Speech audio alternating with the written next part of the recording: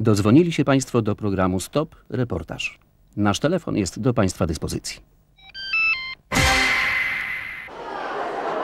W jednej ze szkół zielonogórskich nauczycielowi nie spodobało się zachowanie ucznia. Gwałtowną reakcję nauczyciela zobaczyła cała szkoła. Zarejestrowały to kamery. Podczas pierwszego oglądania y, szczerze mówiąc skóra ścierpła mi i przyszła mi tylko myśl do głowy, że nigdy nie pozwoliłbym, żeby mojego syna ktoś potraktował w taki sposób.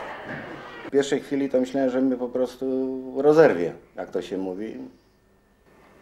Bo był jest taki moment, który jak syna chwyci na karkę i on prawie w powietrzu leci, upadając o, o posadzkę.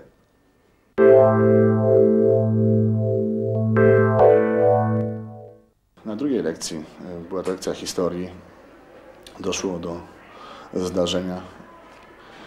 Y, Uczeń wyrzucał przez okno kredki. Zauważyła to nauczycielka, która wchodziła do szkoły y, i udała się do y, tej sali lekcyjnej, by zwrócić uczniowi uwagę. Uczeń w początkowej fazie nie przyznawał się do wyrzucenia, wyrzucania tych kredek przez okno. Po pewnej chwili nauczyciel e, chwycił ucznia e, za garderobę w okolicy karku i przy użyciu siły wyprowadził e, z klasy. Sprowadzał go z drugiego piętra przed budynek szkolny w celu pozbierania tych kredek. Jak widziałem go, jak prowadził go za kołnierz do wyjścia przed szkołę. No i dzieciak po prostu, nauczyciel szedł szybko, a dzieciak po prostu i tak jakby nie nadążał, gubił rytm. Coś takiego. Kiedy nauczyciel już wyprowadził tego ucznia przed budynek szkolny i przycisnął do asfaltu ze słowami, tak jak on y, dokładnie nie pamięta, ale będziesz gryzł czy lizał asfalt, y, zareagował, zwrócił uwagę nauczycielowi. Zareagowałem w ten sposób, wychodząc y, do nauczyciela już na dwór. Panie spokojnie, ja już te kredki posprzątałem.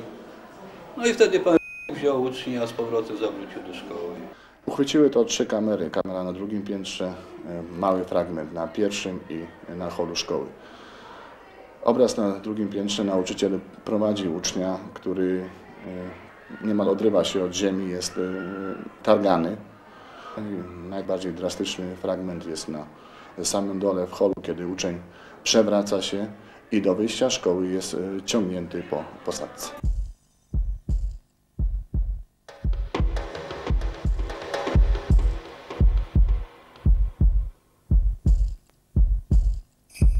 Niewątpliwie e, wiemy i e, tutaj nauczyciel tego również nie zaprzecza temu, że miało miejsce naruszenie nietykalności cielesnej ucznia i jest to niewątpliwie bardzo przykry incydent, który nie musi mieć swoje konsekwencje dyscyplinarne. Sprawa została skierowana do rzecznika dyscyplinarnego, który prowadzi postępowanie wyjaśniające. Myślę, że w efekcie skieruje sprawę do komisji dyscyplinarnej, która będzie sprawę rozstrzygała. W tej sprawie takie intencje miałem, żeby sprawę załatwić przede wszystkim uczciwie, zgodnie z prawem oświatowym i przy jak najmniejszym, możliwie jak najmniejszym rozgłosie, bo żaden rozgłos nie służy w szkole, nie służy oczywiście rozgłos y, w sprawie y, no, y, niechlubnej, jaką niewątpliwie ta jest. Z tego właśnie powodu próbujecie Państwo w jakiś sposób ukryć to przed mediami, bo mamy takie odczucia, że y, nie do końca chcecie Państwo udostępnić nam materiały zarejestrowane przez kamery przemysłowe. Powiem w ten sposób. y, Nie tyle ukryć, co również i moje stanowisko było takie, żeby nie udostępniać, przynajmniej na tym etapie, ponieważ sprawa jest wyjaśniana. Dopiero jak sporządzę wniosek, trafi to na komisję, będzie przedmiotem mm, postępowania dyscyplinarnego przed komisją i dopiero efekt będzie jak gdyby do ogłoszenia i to też niepublicznego.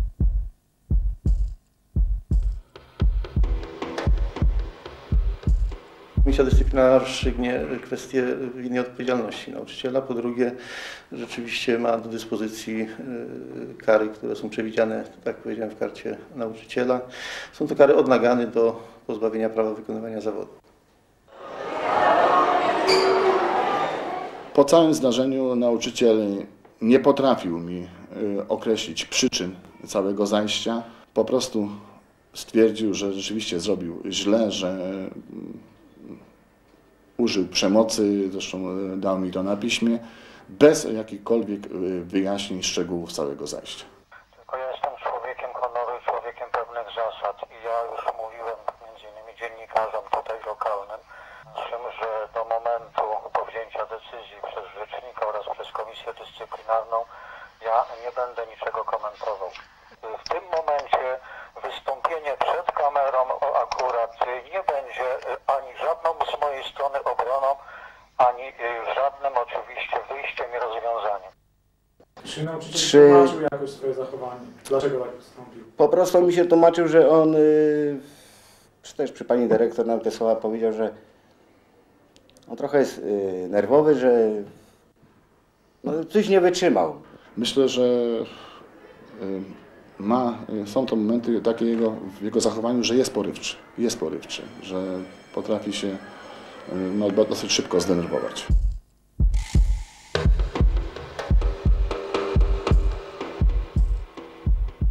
To jest y, po raz pierwszy zgłoszony oficjalnie przez y, rodzica. Y, W ubiegłych, w tych poprzednich latach wiele sytuacji docierało do mnie, ale nigdy nieof- nieoficjalnie. No to jest też tylko człowiek. No i niestety też miał prawo się zdenerwować, czy tam go ponieść go mogło, nie? No gdyby ten uczeń zachowywał się grzecznie, przyzwoicie, tak jak na ucznia przypada, to moim zdaniem nie doszłoby do tej, do tej sytuacji.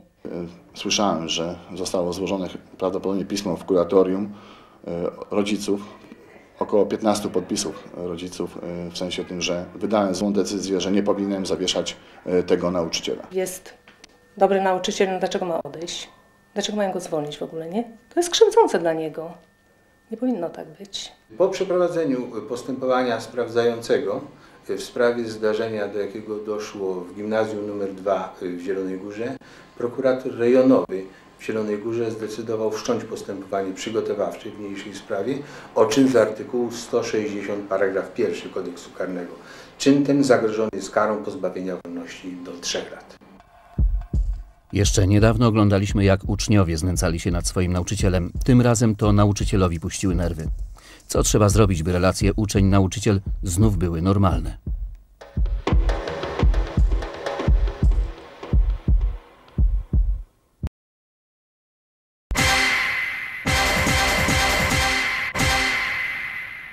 Nasz adres: Telewizja Polska SA, program Stop Reportaż, ulica Woronicza 17, 00999, Warszawa.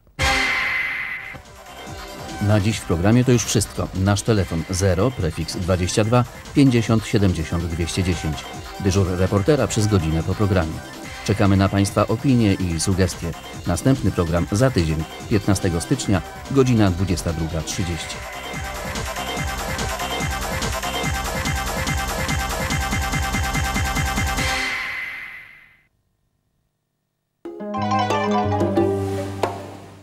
jak wiele matek ufam Wibowitowi, ponieważ chcę, by moje dzieci rosły zdrowo i były odporne na choroby. Maluchowi podaje Wibowit Bobas, by zdrowo się rozwijał. Juniorowi podaje Wibowit Junior, by wzmocnić jego odporność. A najstarszemu Wibowit musujący, by rósł silny i zdrowy. Jestem spokojna, bo wiem, że Wibowit to preparat wielowitaminowy, opracowany przez lekarzy specjalistów, dostosowany do potrzeb dzieci w każdym wieku, nawet tych z alergią. Wibowit, dla zdrowia Twojego dziecka. Przed użyciem zapoznaj się z treścią na opakowaniu bądź skonsultuj się z lekarzem lub farmaceutą.